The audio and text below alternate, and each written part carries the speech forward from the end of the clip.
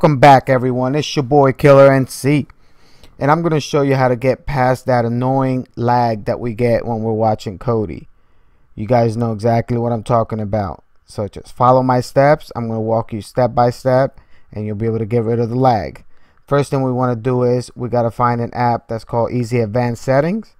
You guys probably have it, 90% of you guys, but if you don't, I'll show you how to get it. So you go to programs, if you have it, it'll be there, easy advanced settings. For me, it isn't, but that doesn't mean I don't have it. It's just not displaying. So if you don't have it there, click on get more. And then you'll have a whole list. Make sure you just go down and find easy advanced settings. There it is for me. Click on it, install it. Once you're done, you'll get the easy advanced settings at the bottom you want to go back go back into programs and you'll see it there in the corner easy advanced settings with the gear. Click on that. Then we want to go ahead and go and edit settings. Then we'll go to network settings. Then we'll go to network. Alright so the first one we're gonna go ahead and just type 10 hit done. You see turn green with the 10 next to it. Go on to the second one. We're going to do exactly the same thing. Type 10 there's a green 10 next to it. The third and the fourth one we're not going to do anything with.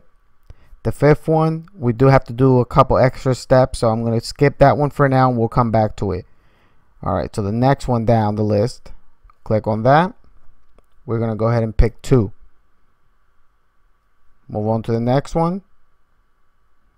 And on this one we're going to go ahead and backspace to remove the word disabled.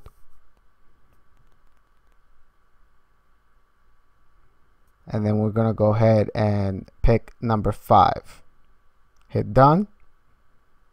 Alright so that's how it should look right now.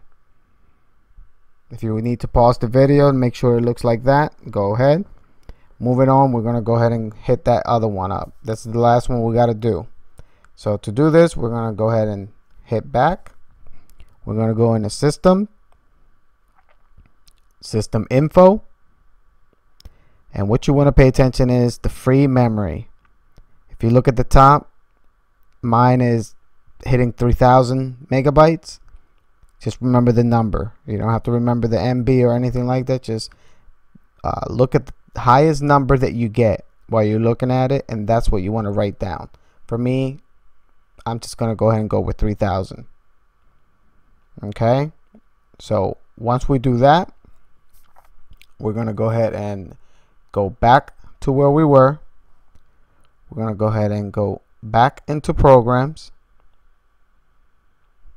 It should bring you exactly where you left off. So now we're gonna go ahead and click on the third one from the bottom. We're going to erase disabled. And here's where we got to do a little bit of work. Nothing complicated. Don't freak out. We're going to have to do two calculations to get the number that we're going to enter here. So I'm going to go ahead and get my calculator out and then I'll be back. Alright guys, I'm back and I have my calculator out. And like I said, hopefully you wrote down the number that was showing on the system info. What we're going to do here is just start doing the calculation.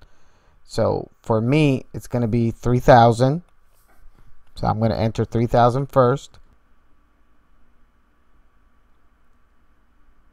And then you're going to times by 1,024.